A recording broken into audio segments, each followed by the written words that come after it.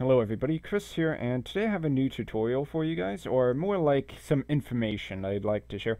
Um, recently I've had some interest in doing 3D modeling, so I've been looking around for a bunch of different sites which you're actually able to go ahead and upload your models that you've created in a program such as Blender or 3ds Max onto the web, and then you have those models in a marketplace such as TurboSquid, and you're able to collect royalties as the models sell on those sites.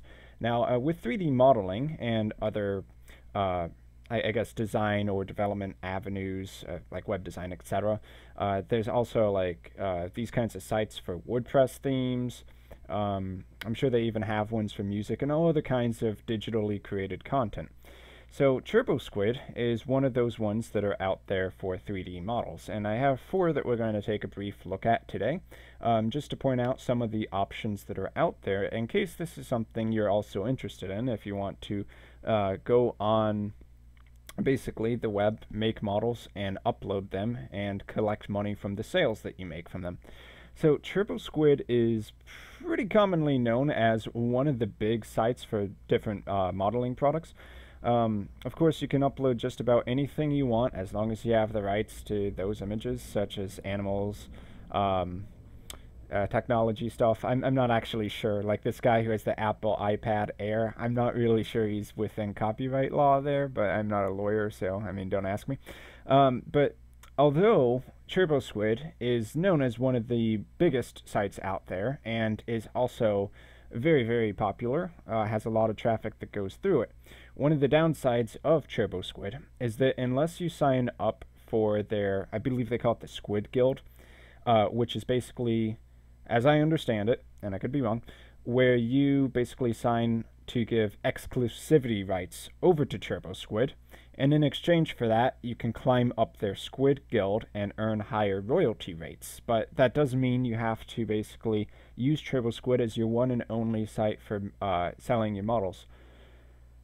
Now, uh, you got to ask yourself, is that worth it? Because uh, one way to get more sales, of course, with anything, is going to be ex to expand your presence. If you put your models to other sites like 3D Export or the 3D Studio or the CGTrader.com, uh, you can basically get your products out there in front of more eyes. And while each of those individual sites may not have as many uh, viewers for the site, as, say, TurboSquid does, um, you add all of them together and it might actually add up to something significant.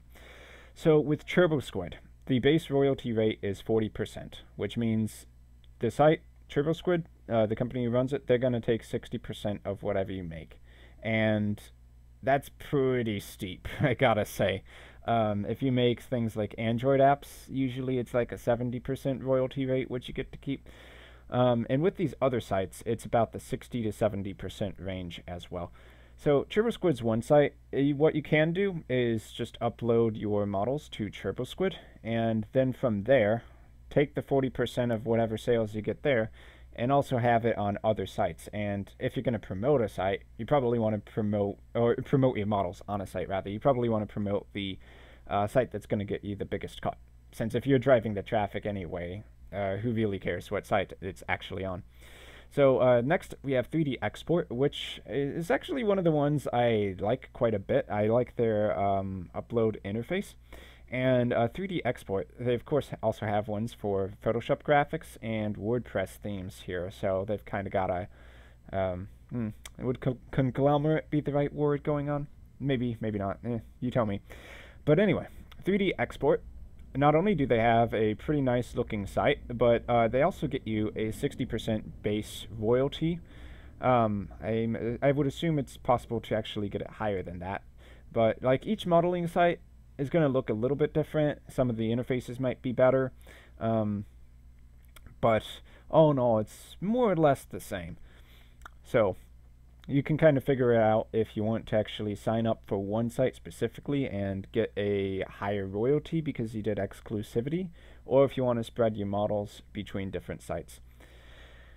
Alright, looks like they're updating the server. Well, cool. Fair enough there.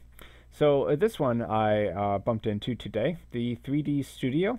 It's got a pretty decent looking site as well. And if, I recall, their upload interface is actually very, very simple to use. Um, however, it's actually a little bit tricky to find out information about their royalty rate. You go to the About page, you don't really see it anywhere. And uh, I even control F for find in the terms of service. But I was able to find a brief article on the cgchannel.com that points out uh, that apparently it, the uh, company slash website was recently bought out and it had a 60% royalty rate. So I believe that's what you got going on there. So 60% seems pretty standard. And that's with these sites without even having the exclusivity agreement. So TurboSquid's really giving you a hard bargain to use their high uh, traffic website, in my opinion. And then we have this last one, um, which I believe is also 60% base. It could have actually been 70. It's one of those two. Uh, I don't really know too much about this site yet. Um, it's the one I bumped into most recently today, but I do have to say they do have quite a slick interface overall, so I don't think they could be all that bad. Uh, this page is a little bit iffy. Um, but yeah, you can look around. You can find more of these sites. They're really quite common at this point. And uh, just find the ones you actually want to use. Maybe you don't want to upload to every single site because uh, it does take time to actually upload your images, uh, register for an account, and uh, do like the tagging descriptions, all the, all the other kinds of things you'd have to do if you were making a YouTube video as well. But uh, hopefully that gives you a good idea of some options that are out there if you're looking to get into 3D modeling. Uh, as far as tutorials go, I would say probably check out some other channels. Uh, even if I practice for a bit, it's going to be quite a while until I actually uh, get to that point where eh, you can learn from me. But um, yeah, there's tons of tutorials out there on YouTube. So if this is something that interests you, I'd say just go ahead and give it a try. And uh, programs like Blender are completely free uh, for 3D modeling. You don't necessarily need to pay hundreds of dollars for a program like 3ds Max or Maya. Anyway, uh, I've been Chris. Best of luck if this is your thing and you're going to go give it a try, or maybe you're already doing it. Um, thank you for watching, and if you want to donate to the channel, support these tutorials, you can do so at patreon.com slash christutorials. Aside from that, thank you, and I'll see you in my next video.